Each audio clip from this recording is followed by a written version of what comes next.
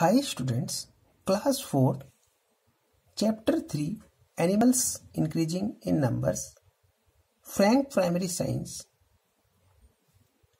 Topic, animals that reproduce by laying eggs. Now it's time to learn about frog. Frog lay eggs in water from which tiny young one called tadpoles hatch. Tadpoles look different from adult frog they look more like small fish with a tail.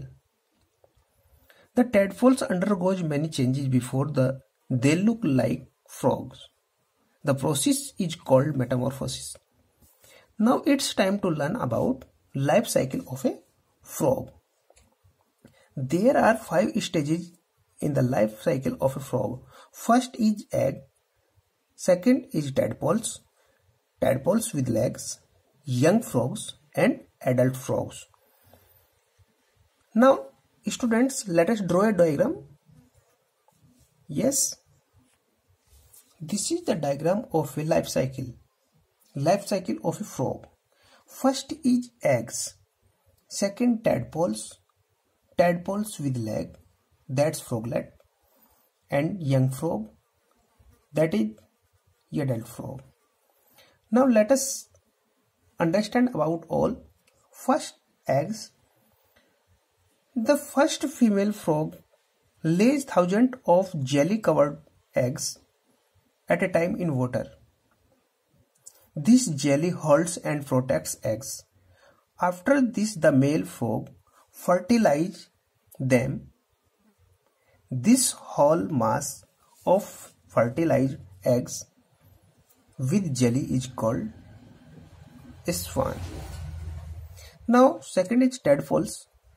As the fertilized egg mature, it splits into more eggs and forms a tadpole. Now for the first two weeks these tadpoles make very little movement. During this time the tadpole use the leftover eggs, yolk from the eggs as food.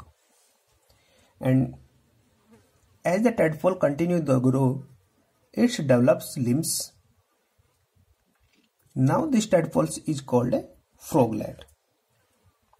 Now next later four limbs grow tails shrink. Then the froglet change into adult frog that is the life cycle of a frog.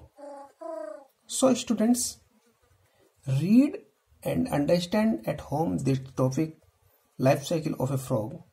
And we will discuss next topic next day. Thanks students. You will do better